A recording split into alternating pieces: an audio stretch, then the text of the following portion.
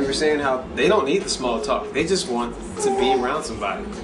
Looking out behind just fences, I've kind of like put myself in their shoes, and it was an eye opening for me. Like, wow, they're actually gonna be here for a long time. You tell me God's not involved in getting 12 people to say, I'm going to stop my life for a week and I'm going to come all the way down to a people I don't know to visit a church of people I've never met and I'm going to sing in their service and we're going to invite Jesus into the city.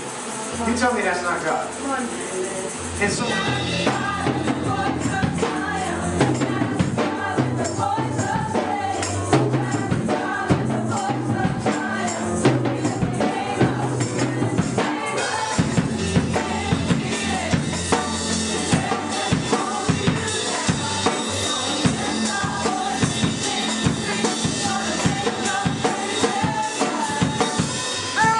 Touch a lot of lives and do a lot of things, but I felt like never really finished.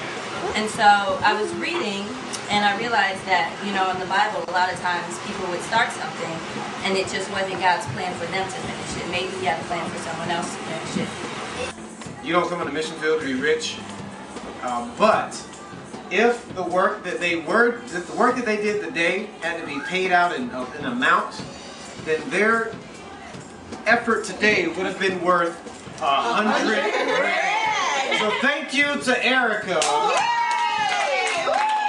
for your job today.